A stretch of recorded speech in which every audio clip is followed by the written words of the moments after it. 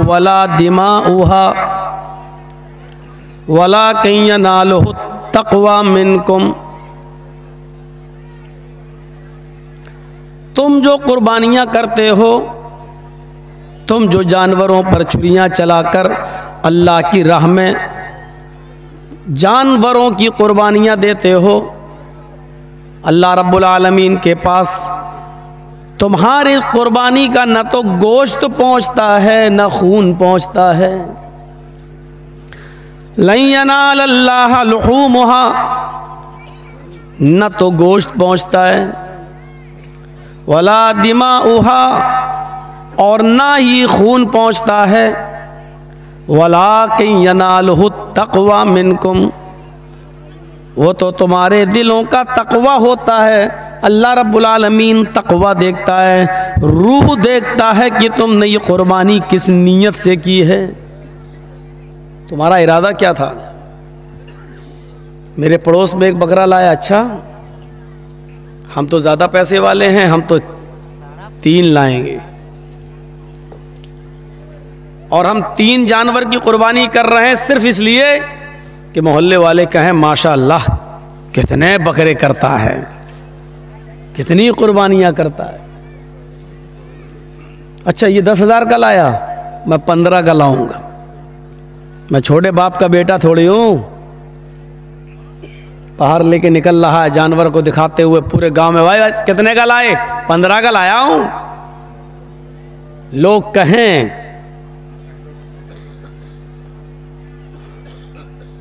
इबादत की रूह क्या है? तकवा। बेकार है ये कुर्बानी। और साफ़ तौर पर कह दिया कि जो तुम कुर्बानियाँ कर रहे हो, अल्लाह रब्बुल आलमीन को न तो इसका गोश्त पहुँचता है, ना इसका खून पहुँचता है। वो तुम्हारे दिलों का तकवा देखता है, तकवा। बुखारी शरीफ के अंदर वो एक वाक़ है, और बड़ा मशहूर वाक़ है क़यामत के दिन एक ऐसे आदमी को लाया जाएगा जिसने की गर्दन जंग में, जिहाद में कट गई होगी। वो कत्ल कर दिया गया होगा। मैदान मैशर में उसको लाया जाएगा। अल्लाह ताला पूछेगा, मैंने तुझे ज़िंदगी दी थी, बता बंदे, तूने मेरी ज़िंदगी को क्या किया? मेरी दी हुई ज़िंदगी का क्या किया? मुस्कुराकर कहेगा, अल्लाह तू ये सवाल मुझसे कर रहा है, हालाँकि तू सब कुछ जानता है। तूने हमें ज़िंदगी दी, मैंने अपने बीवी बच्चों को छोड़ा, मैंने घर मकान को छोड़ा, मैंने बिल्डिंगों को छोड़ा, मैंने ज़मीन और जायदाद छोड़ी, मैं तेरी राह में निकला, मैंने जंग की और कई काफिरों की गर्दनों को मैंने उड़ाया और लास्ट में मैं भी मारा गया। आय अल्लाह, तेरी राह में मैं कत्ल कर दिया गया, तेरी राह में मैंने अपनी जान का नजराना पेश कर दिया। फिर भी तू पूछ रहा है कि मेरी दी हुई ज़िंदगी का तूने क्या किया?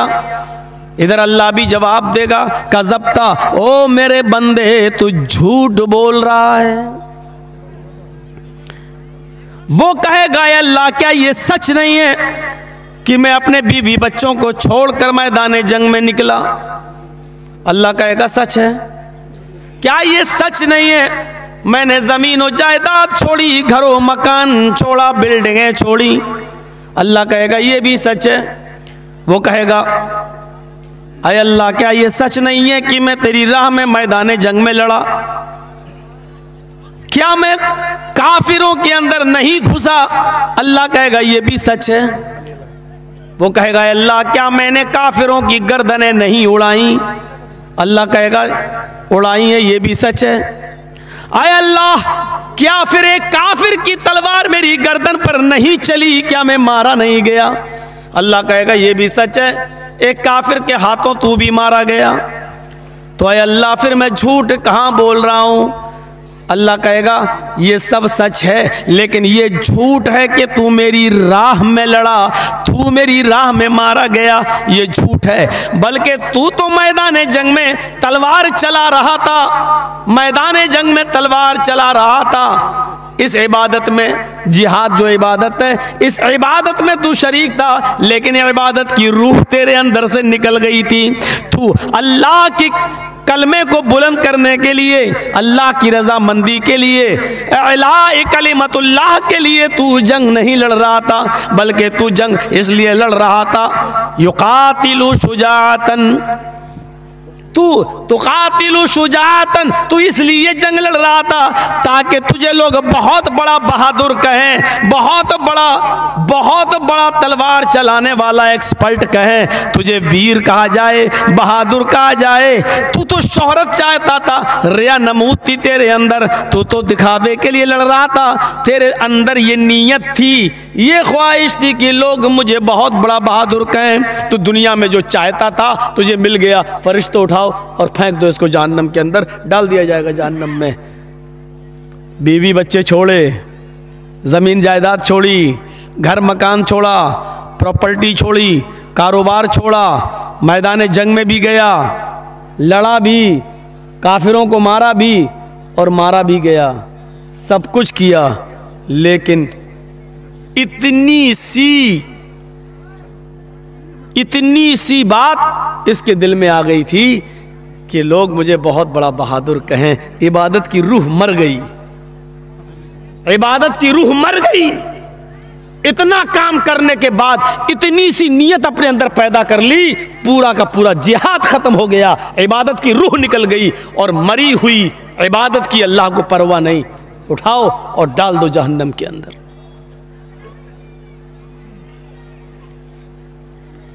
हमारे यहाँ पर भी जलसे होते हैं। चंदा होता है। उसमें आदमी देखता है कि देखें, फला आदमी कितना देगा, उसके बाद हम उससे ज़्यादा देंगे। और जहाँ ये चीज़ पैदा हो गई, आपका हज़ार रुपया भी जाएगा और सवाब भी नहीं मिलेगा। और मौलाना साहब का तो काम ही उकसाना, जोश दिलाना, वो तो दिलाएँगे। सौ रुपए आपने दिए। अल्लाह ताला इनको जन्नत दे के औलाद को तंदुरुस्ती अदा फरमाए, रिस्क में बरकत दे। दो सौ रुपये दिया, रिस्क में बरकत दे। और जैसी बड़ा नोट आया दो हज़ार का, नारे, तकबीर। अल्लाह अकबर। और उसको इतनी लंबी चौड़ी दुआ, लगता है सौ रुपए वाले का कोई कमाली खत्म हो गया, अब दो हज़ार वाले ही के लिए जन्नत है। अब सामने वाला बैठ के देख रहा है कि दो हज़ार वाले की बड़ी लंबी दुआ दी जा रही है। तो हम पाँच हज़ार दे, हो सकता है कि हमें और ज़्यादा दुआ मिले। यहाँ की दुआ पर एतबार मत करिए, आप अपनी नीयत के एतबार से दीजिए। आप अपनी नीयत के एतबार से दीजिए। यकीनन अल्लाह ताला आपको सवाब देगा। बुखारी शरीफ के अंदर एक बड़ा दिलचस्प वाक़ आया है, ज़रा उसको सुनिएगा। देखिए, पढ़ा था बंदे ने, नबी से सुना था उसने कि जब सदका और खैरात करो तो दाहिने हाथ से दो और बाएँ हाथ को भी उसकी खबर नहीं होनी चाहिए। तो उसने अपने सदक़े के और खैरात के माल के तीन हिस्से किए थ्री पार्ट्स में डिवाइड कर दिया, तीन हिस्से। उसने सोचा कि एक हिस्सा हम अल्लाह की राह में देंगे। बुखारी शरीफ की हदीस के अंदर ये वाक़ है। किसी लैला मजनू वाली किताब की नहीं दास्तान सुना रहा हूँ आपको और किसी कठमुल्ला की लिखी हुई किताब की नहीं बता रहा हूँ। बुखारी शरीफ के अंदर ये वाक़ मनकूल है। सुनिए, उसने सोचा कि दिन में अगर हम अल्लाह की राह में किसी को देंगे तो किसी न किसी को पता चल जाएगा। तो ऐसा करें, हम रात के तारीकी में और रात के अंधेरे में निकलेंगे और ज़रूरतमंद को तलाश करेंगे और किसी ज़रूरतमंद को मैं तो समझा, हमको डांट रहा है। हाँ साउंड है भी नहीं, पता नहीं क्या चक्कर है यार ताकत भी नहीं, वो माइक में आज कुछ कमी है। भैया, सही करो ना, उसी हिसाब से पैसा मिलेगा तुम्हें। माइक की पोजीशन ठीक है। उनको सुनाई नहीं दे रहा है, हमको लग ही नहीं रहा क्या माइक में बोलना अच्छा चलिए। सुनिए, वो अपना काम कर रहे हैं, आप अपना काम कर। तो उसने सोचा कि रात के अंदर मैं निकलूँगा और किसी मजबूर आदमी को देखूँगा और उसकी मदद मैं कर दूँगा। वो रात में निकला। यार बार बार ये मत करिए। बुखारी के अल्फाज हैं। ईशा की नमाज़ पढ़ने के बाद वो सो गया। आधी रात के बाद उठता है। आधी रात के बाद उठता है और अपने नेक इरादे से घर से बाहर निकलता है। सदक़े का माल किसी गरीब को हम दें। एक मील, दो मील चला जाता है पैदल। उसकी नज़र एक आदमी पर पड़ती है। इतनी रात में ये आदमी यहाँ क्या कर रहा है? ज़रूर इसको किसी मजबूरी ने निकाला होगा। उसके करीब जाता है और पूछता है भाई, इतनी रात में तुम यहाँ कैसे आए हो? उस आदमी ने इससे कहा, तुम्हें मतलब? तुम्हें क्या मतलब? ये जो सदका देने की नीयत रखता था, कहने लगा, भाई, मैं किसी मजबूर आदमी को तलाश कर रहा हूँ, कोई मजबूर आदमी हो। मेरे पास कुछ सदक़े का माल है मैं किसी गरीब आदमी की मदद करना चाहता हूँ। इसलिए मैंने पूछा, इतनी रात में अगर तुम निकले हो और किसी मजबूरी ने तुम्हें निकाला है तो मैं तुम्हें सदका दे देता हूँ। उसने कहा, इतनी रात में कोई मजबूर नहीं निकलता है तो क्या कोई ऐशो आराम करने वाला आदमी निकलेगा? मुझे मजबूरी ही ने तो घर से निकलने पर मजबूर किया। इस आदमी ने उसको सदका दे दिया। घर चला आया। तहजद की नमाज़ पढ़ी और लेट गया। थोड़ी देर के बाद फजर की अजान हो गई, नमाज़ पढ़ने गया और नमाज़ पढ़ के फिर आया। घर में तिलावत करने लगा कुरान की। सूरज निकला, थोड़ा सा बाज़ार की तरफ़ गया। चलें, टहल के आए। जब बाज़ार की तरफ़ गया तो क्या देखता है? कुछ लोग, कुछ लोगों का एक मजमा लगा हुआ है और वहाँ बैठकर कुछ गुफ्तगु हो रही है। यह आदमी भी उस मजमे में गया और वहाँ जाकर बैठ गया। बातें होते होते अचानक चर्चा होने लगा उसी मजमे के अंदर। देखो देखो, अल्लाह का एक बंदा। देखो, अल्लाह का एक बंदा। कल बेचारा अपना सदक़े का माल लेकर निकला। मजमे में चर्चा हो रहा है। अल्लाह का एक बंदा कल अपने सदक़े का कुछ माल लेके निकला। वो किसी गरीब और मजबूर की मदद करना चाहता था, लेकिन धोखा खा गया। धोखा खा गया और बजाय इसके कि वो किसी गरीब को सदक़े का माल देता, उसने एक अमीर और मालदार को सदका दे दिया। जिसको दिया वो तो बहुत बड़ा अमीर आदमी है। अब ये आदमी कैसे कह दे कि अरे वो तो मैं ही था। कहने लगा, है? घर आया और आकर अपने दोनों हाथ उठाकर कहता है इलामीन मेरी नीयत अमीर को सदका देने की नहीं थी। तकवे की रूह देखिए, इबादत की रूह देखिए। सदका और खैरात करना इबादत। और उसकी रूह क्या थी? मैं किसी गरीब की मदद करूँ और इस तरह दूँ कि दाहिने हाथ से दूँ और बाएँ को खबर नहीं, यानी किसी को पता नहीं चलना चाहिए। ये उसकी रूह थी। नीयत क्या थी? गरीब की मदद करूँ। लेकिन हुआ क्या? धोखा खा गया, नहीं समझ पाया। और किसको दे दिया? अमीर को। आए अल्लाह, अमीर को सदका देने का हुक्म ना तूने दिया, ना तेरे नबी ने। ये गलती मुझसे हो गई कि मैंने अमीर को दिया, लेकिन ये गलती जानबूझकर नहीं हुई। आय अल्लाह, मुझे माफ़ कर देना। आय अल्लाह, मेरी नीयत अमीर को सदका देने की नहीं थी। ठीक है? जो हुआ, सो हुआ। मेरे पास अभी दो हिस्से माल और है। आज मैं एक हिस्सा और निकालूँगा, लेकिन अल्लाह तू मेरी मदद करना। आज की रात मैं जिसको दूँ, वो कोई गरीब आदमी हो, कोई ज़रूरतमंद इंसान हो। ईशा की नमाज़ पढ़ के सो जाता है, आधी रात में उठता है, फिर निकलता है। एक दो मील दूर चला जाता है। आज भी इसको एक आदमी नज़र आया चेहरा छिपाए हुए था। ये आदमी उसके करीब जाता है। कहता, भाई, तुम कौन हो? उसने अपना चेहरा नहीं दिखाया। कहता, क्या मतलब? मैं कोई भी हूँ। मजबूरी है मेरी। मैं रात में निकला हूँ। तुम यहाँ क्या कर रहे हो? कहा, मैं, मेरी भी मजबूरी है।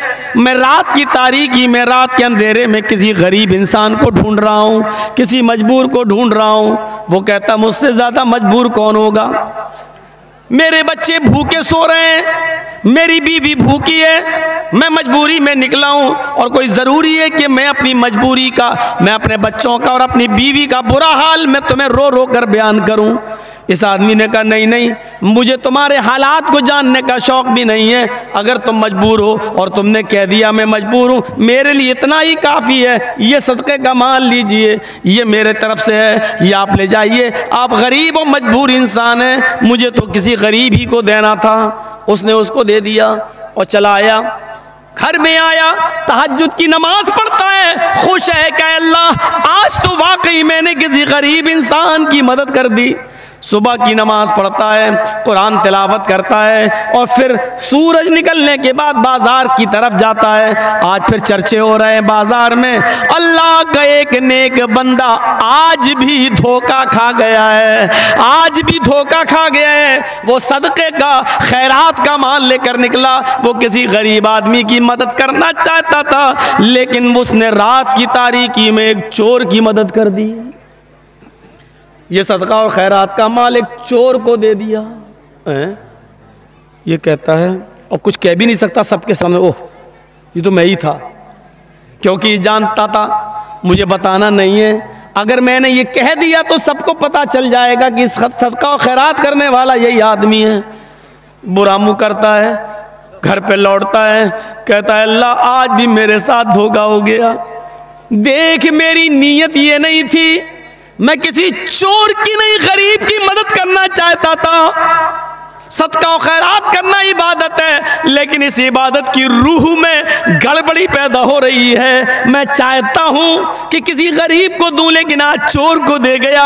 आय अल्लाह, इस पर मेरी गिरफ्त ना करना। मैंने जान बूझ कर चोर की मदद नहीं की। अरे अल्लाह, एक हिस्सा और रह गया है। आज तू मेरी मदद करना, जब मैं रात में निकलूं तो किसी गरीब और मजबूर इंसान तक ये माल पहुँचा देना। आधी रात के बाद तीसरी रात में भी निकला। काफ़ी दूर, चार पाँच मील दूर निकल गया। इसको एक औरत नज़र आई। इसने सोचा, इतनी रात में औरत यकीनन औरत को मजबूरी ही बाहर निकालती है, वरना कोई शरीफ औरत इतनी रात में बाहर क्यों निकलेगी? ये ज़रूर मजबूर है, ये उसके करीब गया, उसने चेहरा छिपाया और कहने लगी, तुम्हें शर्म नहीं आती? तो मेरे करीब रात के अंधेरे में आ रहे हो। उसने कहा, शर्म मुझे नहीं, तुम्हें आनी चाहिए। अकेले रात के अंधेरे में तुम निकली हुई हो। मेरी बहन ऐसी क्या मजबूरी थी जिसको जिसने तुम्हें निकलने पर मजबूर कर दिया। कहने लगी, मेरी मजबूरी का हाल जानकर तुम क्या करोगे? मैं बेहद मजबूर हूँ। तुम जाओ जाओ यहाँ से। इस आदमी ने कहा, मेरी बहन, अपनी मजबूरी नहीं बताना चाहती हो तो मत बताओ, लेकिन हकीकत में तो मजबूर हो। उसने कहा हाँ ये मेरे पास कुछ माल है, मैं मजबूर लोगों के लिए लेकर निकला। लीजिए, ये सारा माल मैं तुम्हें दे रहा हूँ। अल्लाह तुम्हारी मजबूरी को दूर करे। जाओ, अब तुम अपने घर चली जाओ। ये मैंने तुम्हें दे दिया है। ये मेरी, मेरे सदक़े का माल था जो मैं किसी गरीब और मजबूर की मदद करना चाहता था। लीजिए, मैं तुम्हें दे रहा हूँ। ये देकर चला गया। वो अपने घर चली गई, ये अपने घर आ गया। इसने तहजद की नमाज़ पढ़ी, सोया, फिर उठा, फजर पढ़ी घर आया, कुरान पढ़ा, फिर बाज़ार की तरफ़ निकला। मजमे में फिर आज चर्चे हो रहे हैं। आज इसने चर्चे के दरमियान इसने सुना कि लोग कह रहे हैं, आज भी अल्लाह का एक नेक बंदा धोखा खा गया। आज क्या हुआ? आज उसने अपने सदक़े का माल जिस औरत को दिया है वो औरत कोई मजबूर नहीं थी। वो तो बदचलन और आवारा औरत थी। वो तो जानी और जिसम फरोश औरत थी। उसका तो मामूल था रात को निकलना, जिसम फरोशी करना, जिसम बेचना और पैसा कमाना। आज भी अल्लाह का एक नेक बंदा अपना सदका और खैरात एक तवाइफ को दे बैठा। ये घर आया। और आकर रोते हुए कहता, अल्लाह, मेरे पास जितना माल था सब दे दिया है, अब कोई है ही नहीं। लेकिन तीनों दिन मेरा माल गलत जगह पर पहुँच गया। अमीर को सदका देने का हुक्म नहीं, अमीर को दे दिया। चोर को सदका देने की इजाज़त नहीं, चोर को दे दिया। जानी और बदचलन औरत की मदद करना हम पर वाजिब नहीं, लेकिन हमने उसको दे दिया। आय अल्लाह, लेकिन इसमें मेरी खता नहीं है। मैं तो चुपके से मदद करना चाहता था कि किसी को पता न चले, इसलिए रात का इंतखाब किया, रात का वक्त चॉइस किया। लेकिन आए अल्लाह, तीनों दिन में धोखा खा गया। अगर मुझे सवाब न देना चाहे तो आजाब भी मत देना। आए अल्लाह, मेरी नीयत इन लोगों की मदद करने की नहीं थी, लेकिन धोखा हो गया। चौथा दिन है, आज माल नहीं है। जा नहीं सकता देने के लिए। ईशा की नमाज़ पढ़ के सोता है, रात में ख्वाब देखता है, फरिश्ता इसके ख्वाब में आता है और इसको ख्वाब में कहा जा रहा है, आए अल्लाह के नेक बंदे, अल्लाह ने तेरे तीनों दिन के सदक़े को कबूल कर लिया है, इसलिए कि तेरी नीयत अच्छी थी, तेरी नीयत नेक थी। अगरचे तूने बदचलन को चोर को और अमीर को सदका दिया, वो गलत था, लेकिन नीयत तेरी अच्छी थी। इस इबादत की रूह तेरे अंदर बड़ी अच्छी थी। इस इबादत की रूह की वजह से अल्लाह ने तेरे सदक़े को कबूल कर लिया। अल्लाह ने तेरे सदक़े को कबूल कर लिया और तेरे सदक़े के माल से अल्लाह ने उन तीनों को हिदायत दे दी। उस अमीर आदमी ने गलत तरीके से माल लेने से तौबा कर ली कि आइंदा अल्लाह, हम गलत तरीके से माल हासिल नहीं करेंगे। उस चोर को उस सदक़े से इतनी बरकत मिली कि उस चोर ने हमेशा के लिए चोरी चोरी से तौबा कर ली और तेरे सदक़े के माल से उस जानिया और बच्चलन औरत को ऐसी बरकत मिली कि उसने जिनाकारी से भी तौबा कर ली और कहा कि आज के बाद हम गलत काम नहीं करेंगे और अल्लाह ने तेरे सदक़े को भी कबूल कर लिया। मत देखिए हम कितना दे रहे हैं, क्या दे रहे हैं, क्या? नीयत देखता है अल्लाह तबारक अल्लाह की यहाँ सिर्फ़ नीयत देखी जाती है, नीयत नीयत। मेरे भाइयों वो तमाम तस्वुरात हम अपने अंदर लाए। वही तो रूह है, वही तो रूह है, यही तो तक, इबादत की रूह कहलाती है तकवा।